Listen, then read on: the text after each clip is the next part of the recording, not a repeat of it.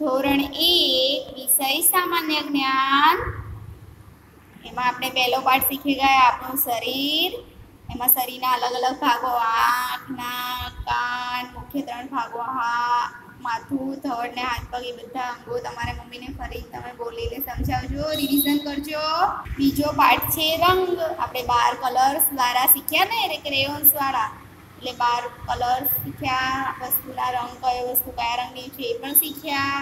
શીખીશું પાઠ ત્રણ, આકાર અને કદ જો એમાં ત્રણ આકારો બતાવે છે, વર્તુળ એટલે ગોળ, બીજો આકાર છે ત્રિકોણ, અને ત્રીજો આકાર છે ચોરસ. અને એની સાથે સાથે હું તમને એક ચોથો આકાર પણ બતાવું છું, લંબચોરસ. હવે જો અહીં અહીંયા એક ચિત્ર આપ્યું છે, એમાં રંગ પૂરવાના કીધા છે. હવે જો જે વર્તુળ આકાર હોય ને, ગોળ ગોળ, એમાં કયો રંગ પૂરવાનો છે? લાલ. અહીંયા લાલ રંગ પૂરવાનો તમારી પાસે કલર હોય છે ને? ત્રિકોણમાં વાદળી રંગ પૂરવાનો આવો વાદળી રંગ.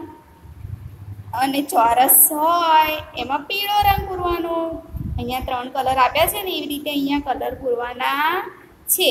જો જો અહીં વર્તુળ છે તો વર્તુળનો કલર કેવો છે? લાલ. તો લાલ ત્રિકોણનો, વાદળી. તો અહીં વાદળી પૂરવાનો અને ચોરસનો રંગ છે પીળો. તો ચોરસમાં પીળો રંગ પૂરવાનો, અહીં વાદળી રંગ અને વર્તુળમાં અહીં લાલ રંગ. એ રીતે તમારે રંગો આમાં પૂરવાના છે. ઉપર ત્રણ રંગ આપ્યા છે. જે આકાર હોય એવો રંગ એમાં પૂરવાનો છે. બરાબર?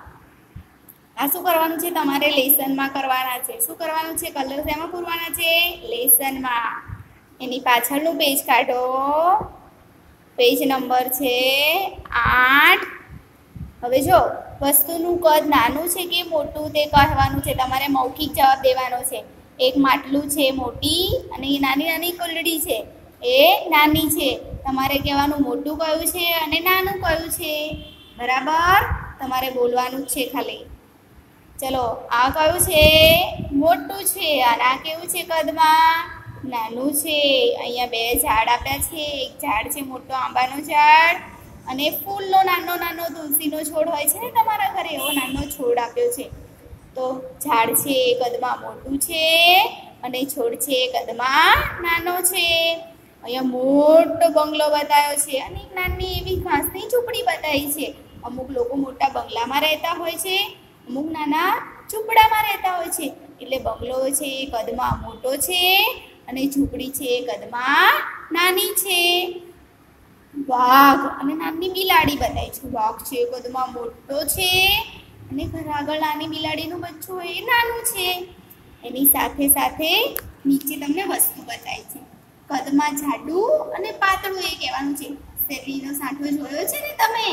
એ કેવો હોય છે? જાડો અને દીવાસળી હોય છે? તમારા ઘરે તમે દીવો પ્રગટાવો છો ને, એ દીવાસળી કેવી હોય છે? પાતળી, એટલે શેરડી છે, જાડી. અને એની સાથે કદમાં શું છે, દીવાસળી એ પાતળી છે. આ થયું નાનું મોટું અને જાડું પાતળું. હવે આ બાજુ તમારે કેટલુંક લખવાનું છે સ્વાધ્યાય માટે. તમારે શું કરવાનું છે? સ્વાધ્યાય પોથીમાં લખવાનું આ લેસનમાં. એટલે તમારી સાથે પણ પોથી પૂરી જાય અને લેસન પણ થઈ જાય. જો, નીચેની દરેક જાડીમાં જે વસ્તુ કદ જોડીમાં જે વસ્તુ કદમાં નાની હોય, તેની સામે ખરાની નિશાની કરો. એટલે આમાં જે વસ્તુ નાની હોય કદમાં, એના ઉપર શું કરવાની છે? ખરાની નિશાની કરવાની છે. સિંહ છે અને ઘેટું છે. તો કદમાં કયું નાનું છે? તો ઘેટું તો એના ઉપર ખરાની નિશાની કરવાની છે. અહીંયા સમડી છે ને પોપટ છે તો બેમાં કદમાં કોણ નાનું છે? પોપટ. તો એમાં ખરાની નિશાની કરવાની છે. અહીં ખટારો અને ગાડી છે. તો કદમાં કોણ નાનું છે? ગાડી. તો ગાડીમાં ખરાની નિશાની કરવાની છે. એક નાની કાંડા ઘડિયાળ આપણે ઘડિયાળ હાથમાં પહેરે છે ને, તમારા ટીચર પહેરે છે ને, એવી અને ઘરમાં રહેલી મોટી દિવાલની ઘડિયાળ છે. તો આ બેમાં નાની કઈ ઘડિયાળ છે? તો હાથની કાંડા ઘડિયાળ.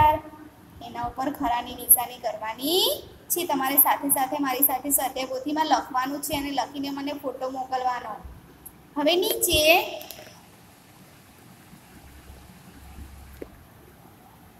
નીચેની દરેક જોડીમાં જે વસ્તુ કદમાં ઝાંટી હોય જાડી એના ઉપર ખરાની નિશાની કરવાની છે. એક પેન આપી છે અને એક ટાંકણી આપી છે. બેમાં જાડો કોણ છે?